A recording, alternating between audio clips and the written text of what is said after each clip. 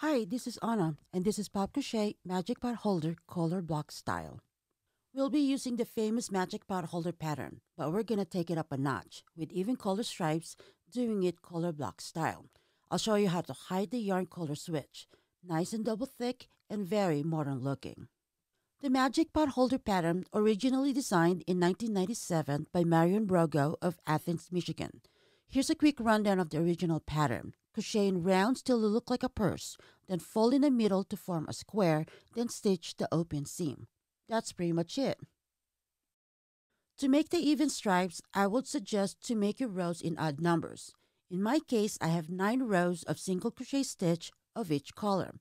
Now, this is the foundation chain which is the base of the square. We're going to crochet four rows of single crochet stitch around it to start the pattern and the foundation will act as one row. So when we fold it into a square, it will look like nine rows. With pot holders, we have to use cotton yarn. So I'm using Dishie cotton yarn exclusively sold at wecrochet.com. A skein is 190 yards and some colors are sold in cones. And we'll be using 4 millimeter crochet hook. The foundation count depends on how big you want your pot holder to be. I'm starting with 46 chain foundation, which made my pot holder a 7 inch square. Once you're done, do a 3 single crochet stitch on the second chain. Then single crochet on each chain all the way to the end. Once you reach the end of your foundation, do 3 single crochet stitch on the last chain. Now don't worry if that chain start losing up on you because you can tighten it up with the tail of the foundation. Now once you're done, go around to the other side of the foundation and start doing single crochet stitches on each chain. Don't forget to crochet over the tail, don't leave it behind. And from here on, we'll be doing single crochet stitches on every stitch. We will be doing four rows. So after the four rows, it should look like the base of a purse. Now we are ready to do the next stripe. We're going to start the magic part early where we will fold the corner. We will hide the yarn switch on the side of the square. So we're going to switch yarn right on the fold. So crochet till you reach the fold part. Pause when you have two loops in your hook. Grab the other yarn color, yarn over and finish up the single crochet stitch process and start crocheting with the new yarn. Take a quick stop after 5 to 6 stitches to double check the switch. We need to make sure that the switch is right at the fold. If it doesn't, frog it, then do it again. Go ahead and cut off the other yarn to get it out of the way and crochet over the rest of it. Now we gotta do 9 rows.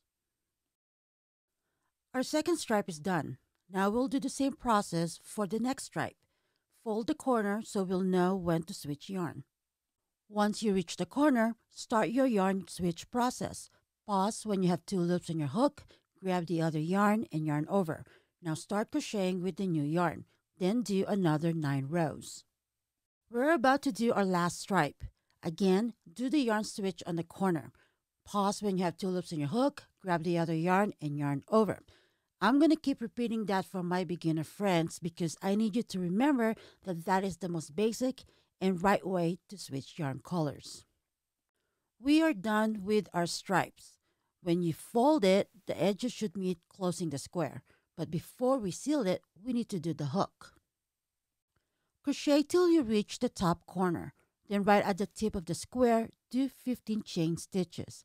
If you want a shorter hook, then you can do a shorter chain but I think 15 chain stitches makes a good size hook. Then attach the end of the chain to the same stitch you started with and finish it up with a slip stitch. We are almost done with our pot holder. We just need to seal this guy. Cut off the yarn at least twice the length of the pot holder. Grab your darning needle and then draw your needle through the loop to create the knot. I'm going to seal my pot holder with a whip stitch. Starting at the left side of the pot holder, insert your needle into the bottom of the stitch, making sure to go through both loops.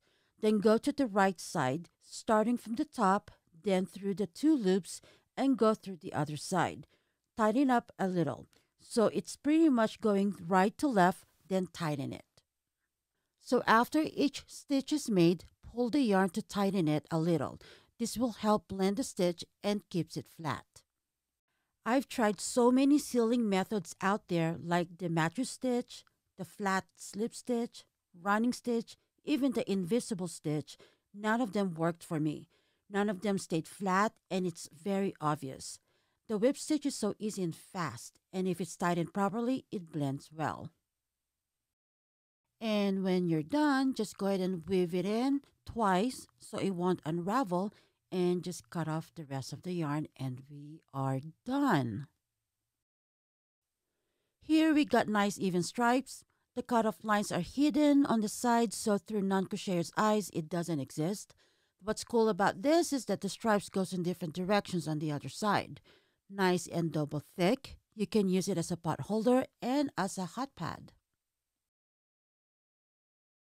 Thank you for watching. Don't forget to comment. Let me know what you think. Please like and share and subscribe. More cool patterns coming soon. And check out my website. This is Anna. Happy crocheting!